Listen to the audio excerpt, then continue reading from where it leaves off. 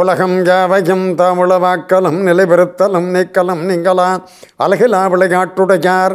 அவர் தலைவர் அன்னவர் கேசரணாங்களே அன்பிற்கினிய Sun TV நேயர்கள் அனைவருக்கும் வணக்கமும் நல்வாழ்த்துக்களும்.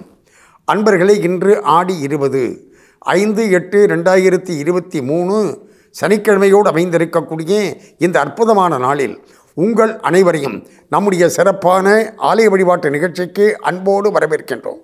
இன்றைக்கு நாம் ஒரு அற்புத ஆலயமாக இருக்கக்கூடிய பெருமாள் ஆலயத்தை தரிசிக்க இருக்கின்றோம். இந்த ஆலயத்தில் பெருமாள் பூமியையே தன்னுடைய இடமாக கொண்டு அப்படி பள்ளி கொண்ட பெருமாளாக காட்சி தரக்கூடிய அற்புதமான திருத்தலமாக இருக்கக்கூடிய ஸ்தல சயன பெருமாள் ஆலயத்தை இன்றைக்கு நாம் தரிசிக்க இருக்கின்றோம். அதாவது இந்த திருத்தலத்திற்கு திருக்கடல் மல்லை என்று பெயர். இப்போ திருக்கடல் மல்லை என்று சொன்னால் ஒரு சிலருக்கு புரியும். ஆனால் அனைவருக்கும் புரிய வேண்டும் என்று சொன்னால் மாமல்லபுரம் என்று அப்படி சொன்ன உடனே பட்டார்னு எல்லாருக்கும் புரிஞ்சிடும். அந்த மகாபலிபுரத்தில் தான் மிகப்பெரிய அற்புத தெய்வமாக விளங்குகின்றார். யார் என்று சொன்னால் ஸ்தலசயன பெருமாள் என்று போற்றக்கூடக்கூடிய அற்புதமான தெய்வம். இங்கு தாயார் நிலமங்க தாயார் என்று தனிக்கோவில் தாயாராக அருள்பாலித்து வருகின்றார். திருமங்கை ஆழ்வாரால் மங்களாசாசனம் செய்யப்பெற்ற அற்புதமான திருத்தலமாக விளங்குகின்றது இந்த திருத்தலம். திருமங்கை ஆழ்வாரால் மங்களாசாசனம் செய்யப்பெற்ற திருத்தலம் என்ற பெருமைகளை எல்லாம் உடையது என்று சொல்கின்ற நேரத்தில் புராண வரலாற்றின் அடிப்படையிலும் பல சிறப்புகளை உடையதாக அமைந்திருக்கின்றது இந்த திருக்கடன் மல்லை அதாவது ஸ்தலசயன பெருமாள் ஆலயம். அன்பர்களே அதாவது இந்த ஆலயத்தில் எழுந்தருளி இருக்கக்கூடிய பெருமாளை திருமங்கை ஆழ்வார் மங்களாசாசனம் செய்கின்ற பொழுது அடாடா எப்படி அற்புதமான பாசுரங்களால் மங்களாசாசனம் செய்திருக்கின்றார் என்று சொன்னால் இந்த பெருமாளை வந்து வணங்கக்கூடிய பக்தர்கள் அவர்கள் எனக்கு நாயகரே. அதாவது இந்த பெருமாளை வந்து வணங்கக்கூடிய பக்தர்கள் எனக்கு தலைவர் என்று குறிப்பிடுகின்றார். அடுத்ததாக இந்த பெருமாளை வந்து வணங்கக்கூடிய பக்தர்கள் என் குலதெய்வம் என்றே குறிப்பிடுகின்றார். என்ன ஒரு பெருமாள் மீது பக்தி பாருங்கள் ஆழ்வாருக்கு.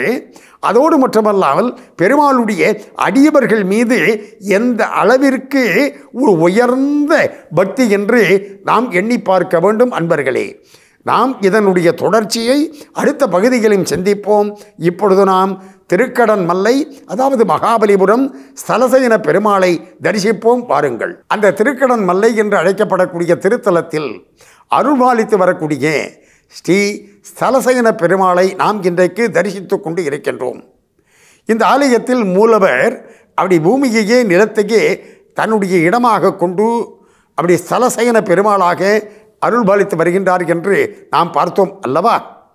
இந்த பெருமாளை அப்படி ஆழ்வார் மங்களாசாசனம் செய்கின்ற பொழுது இந்த பெருமாளை வந்து யார் வணங்குகின்றார்களோ அந்த பக்தர்கள் எனக்கு நாயகர் என்று குறிப்பிட்டார் என்று குறிப்பிட்டேன் அல்லவா?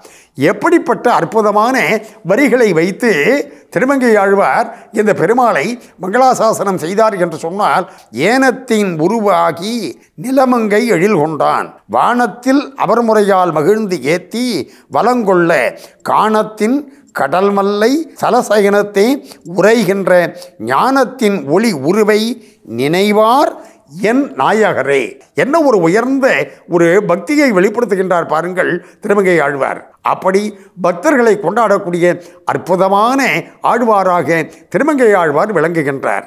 அடுத்ததாக இந்த திருத்தலத்தில் எல்லாம் வல்ல பரம்பொருளாக இருக்கக்கூடிய திருமாலாகிய தெய்வம் அப்படி சயனித்த கோலத்தில் காட்சி தருகின்றார். அதற்கு என்ன காரணம்? பார்ப்போம். இப்பொழுது நாம் திருக்கடன் மல்லை ஸ்தலசயன பெருமாளை தரிசிப்போம். பாருங்கள். மகாபலிபுரத்தில் அதாவது திருக்கடன் மல்லையில் அருள்பாலித்து வரக்கூடிய ஸ்தல சயன பெருமாளை இன்றைக்கு நாம் தரிசித்து கொண்டு இருக்கின்றோம்.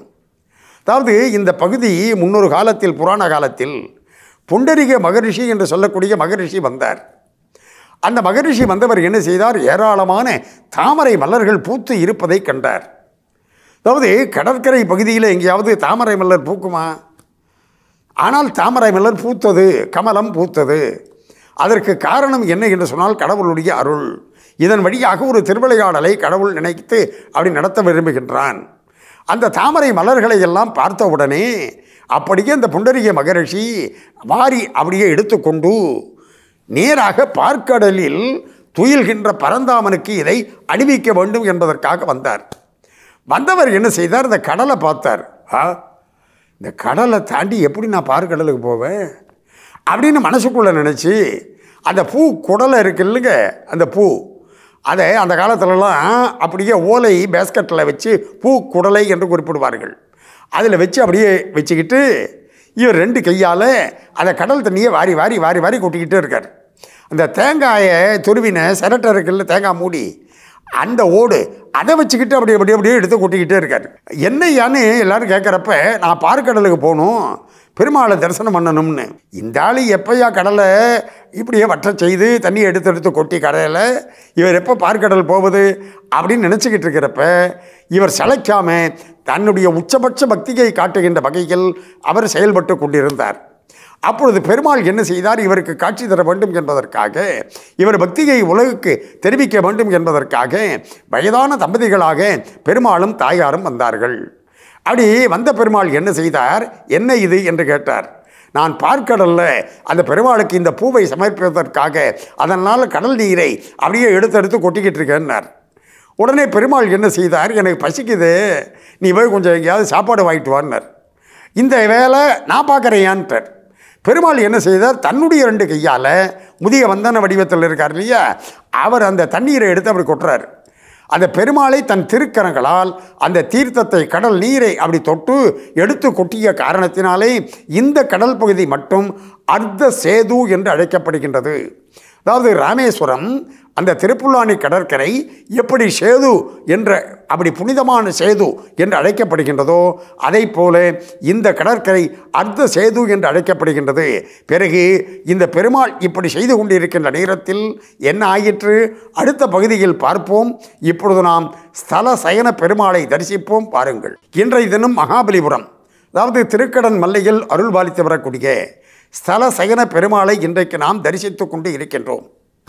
அதாவது சென்ற பகுதியில் நாம் சிந்திக்கின்ற பொழுது புண்டரீக மகரிஷிக்காக பெருமாள் அருள் செய்ய வேண்டும் என்று அதாவது பெருமாளுடைய எளிய தன்மையை காட்டுகின்ற வகையில் உயர்ந்த நிலையில் இருக்கக்கூடிய பரம்பொருள் எளிய தன்மையில் இறங்கி வந்து தன் கைகளால் அந்த கடல் நீரை எடுத்து அப்படி போட்டுக்கொண்டு இருக்கின்ற நேரத்தில் புண்டரீக மகரிஷி என்ன செய்தார்? அவர் நேராக உணவு வாங்குவதற்காக ஊருக்குள்ளே போயிட்டார். திரும்பி வந்து பார்க்குறார். பார்த்தா கடல் கொஞ்சம் உள்வாங்கி இருக்கு. அந்த பூமியிலேயே அப்படியே பெருமாள் என்ன செய்தார்? இவர் பூ குடலையில் அப்படி பூவெல்லாம் வச்சுருந்தார்ல அதை எடுத்து இவர் தான் மேலே தானே போட்டுக்கிட்டு அப்படியே சைன திருக்கோலத்தில் அதாவது உபதேச முத்திரையாக தன்னுடைய வலது கையை தன்னுடைய திரு மார்பிலே வைத்துக்கொண்டு புண்டரிக மகிழ்ச்சிக்கு அருள் செய்கின்ற வகையில் பெருமாள் அப்படி காட்சி கொடுத்தார். அடுத்த நிமிடம் புண்டரிகை மகரிஷி விழுந்து வணங்கி எழுந்தார். வானத்தில் இருக்கக்கூடிய தேவர்கள் எண்மர் பதினொருவர் ஈரிருவர் மற்றுமுள்ள வானவர் அனைவரும் மலர் மழை பொழிந்தார்கள். இந்த காட்சியை கண்டு அப்பொழுது என்ன ஆயிற்று என்று சொன்னால் மகரிஷி புண்டரிக மகரிஷி எனக்கு காட்சி கொடுத்ததைப் போலவே வருங்காலத்தில் பக்தர்களுக்கும் காட்சி தர வேண்டும் என்று சொல்ல அந்த அடிப்படையில் இன்றைக்கும் இந்த சலசைன பெருமாள் மூலஸ்தானத்தில் நமக்கு காட்சி தந்து கொண்டிருக்கின்றார். உற்சவர் எப்படி என்று சொன்னால் உய்ய நின்ற பிரான் என்று பெயர். அதாவது நம்மை வாழ வைப்பதற்காக நம்மை உய்வடைப்பதற்காக தோன்றியவன் என்ற கருத்தில் இங்கு தாயார் நிலமங்க தாயார் என்று அன்பர்களே நிலம் சம்பந்தமான பிரச்சனைகள். பூமி சம்பந்தமான பிரச்சனைகள். அதோடு மட்டுமல்ல எப்படி என்றால் வாஸ்து சம்பந்தமான பிரச்சனைகள்.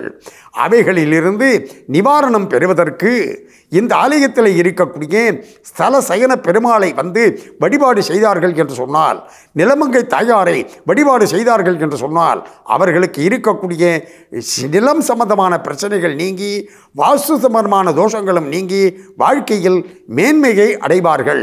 இந்த ஆலயத்தில் இப்பொழுது திருப்பணிகள் நடைபெற்று கொண்டு இருக்கின்றன. அன்பர்களே நாம் பிறவி எடுத்ததன் பயனை அடைவதற்கு திருப்பணிகளிலும் பங்கு கொண்டு நிலமங்க தாயார் சமேத ஸ்தலசயன பெருமாளுடைய அருளால் அதாவது மகாபலிபுரத்தில் அருள்வாளிக்கக்கூடிய இந்த பெருமாளுடைய அருளால் நம்முடைய நேயர்கள் அனைவரும் எல்லா நலமும் பெற்று பல்லாண்டு பல்லாண்டு வாழ வேண்டும் என்று பிரார்த்தனை செய்து கொண்டு இந்த அளவில் நிறைவு செய்து கொள்வது நாகை முகுந்தன். நன்றி வணக்கம் வாடிய நலம்.